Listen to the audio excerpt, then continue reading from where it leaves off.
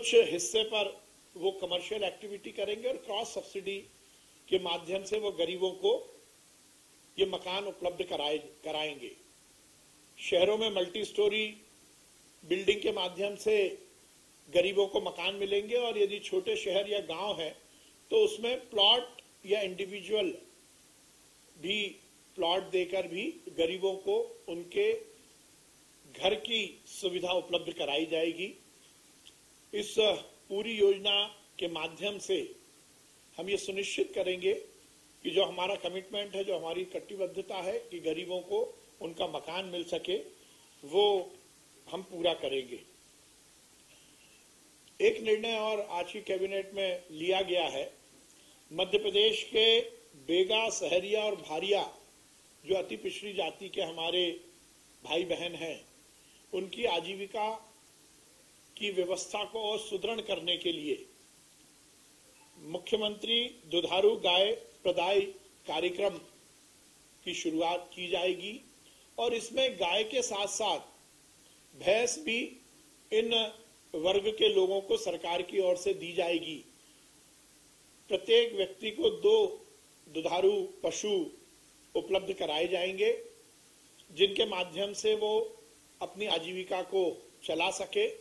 और इसमें एक बात का और निर्णय लिया गया है, क्योंकि ये तीनों जाति के हमारे भाई बंधु बहुत ही सीधे, साधे जीवन जीने वाले हैं। तो इन दुधारू पशुओं की जो प्रोडक्ट है, जो दूध है, या गौमूत्र है, या गोबर है, इसका मार्केट लिंकेज की भी संपूर्ण व्यवस्था की जाएगी। इसमें पूरी तरह से विभाग ये सुनिश्चित करेगा कि ऐसे हमारे भाई बहन जिनको इस योजना के तहत पशु उपलब्ध कराए जा रहे हैं, या तो उनकी कोऑपरेटिव सोसाइटी बने, जो डेयरी, जो हमारा कोऑपरेटिव का मूवमेंट है, उससे जुड़े, या किसी भी तरह से उनके जो पशु हैं, उनका जो प्रोडक्ट है, उसका मार्केट लिंकेज ठीक ठीक ढंग से हो सके। और इसके लिए संपूर्ण योजना बनेगी, और ये एक बहुत ही महत्वपूर्ण इन जातियों के भाई बहनों के जीवन को सुधारने वाला निर्णय आज सरकार की द्वारा लिया गया है। Madhya Pradesh nurses registration council के पदों को सृजित करने का भी निर्णय आज लिया गया है, क्योंकि लगातार नर्सिंग कॉलेजेस की अधिकता हो रही है।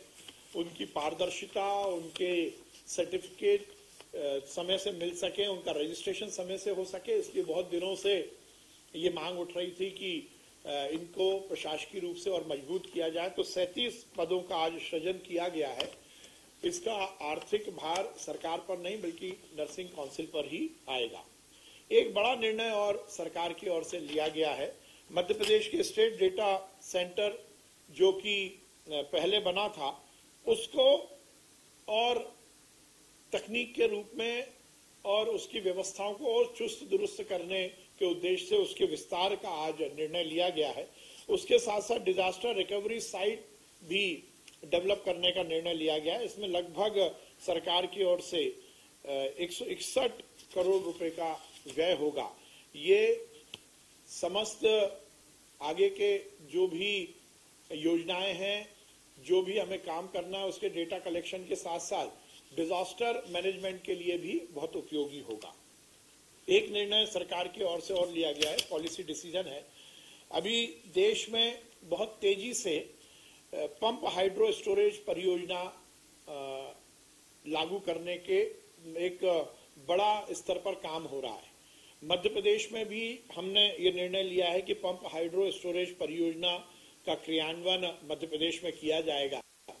अभी जो इंदौर में इन्वेस्टर समिट हुई उसमें बड़े स्तर पर इस योजना से इन्वेस्टर्स ने जुड़ने की हामी बड़ी, भरी है। तो आज ये निर्णय लिया गया है कि इसको हम अप्रूव करते हैं इस पॉलिसी को। इसके साइट का चयन करना, उसकी वायबिलिटी देखना और उसको किस ढंग से हम इन्वेस्टमेंट के लिए उपयोग कर सकते हैं, इसका नवकरणीय ऊर्जा विभाग पूरा पॉलिसी बना रहा है और आज इसकी भी कैबिनेट में इस पर हामी भरी गई है। इसी तरह उच्च न्यायालय मध्य प्रदेश जबलपुर के परीक्षा सेल में 20 नए पदों को सृजित करने का भी निर्णय आज कैबिनेट में हुआ है। धन्यवाद। जी?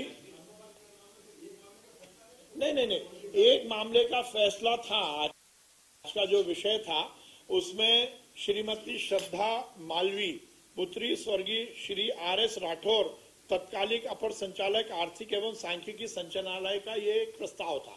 पर माननीय मुख्यमंत्री जी ने उस पर यह निर्णय लिया कि अब सभी इस तरह के जो प्रकरण है, उन सभी को अनुकंपा नियुक्ति दी जाएगी। तो अब ये पॉलिसी डिसीज़न हो गया। ये केवल ये इनको तो हो ही गया है, परंतु अब तो एक पॉलिसी डिसीज़न हो गया कि जो भी मृतक अधिकारी कर्मचारी है, उनकी बेटियों को भी अनुकंपा नियुक्ति मिलेगी। एक बड़ा